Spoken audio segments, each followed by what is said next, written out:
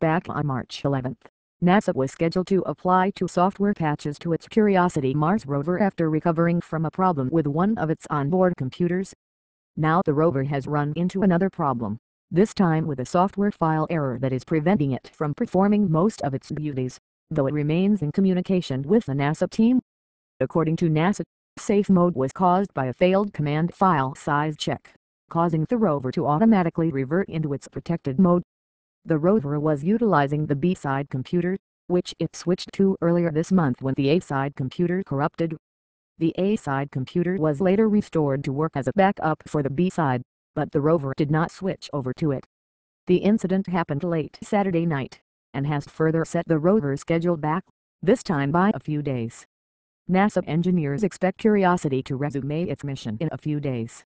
Thus far, the rover has been incapacitated to some degree for most of the month, having experienced its initial computer problem and then later being put into sleep mode due to a solar flare.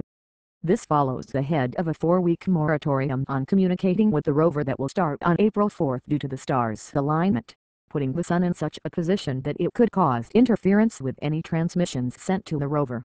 Fortunately, the problem is easy to solve according to Curiosity's project manager Richard Cook. This is a very straightforward matter to deal with. We can just delete the file, which we don't need anymore, and we know how to keep this from occurring in the future.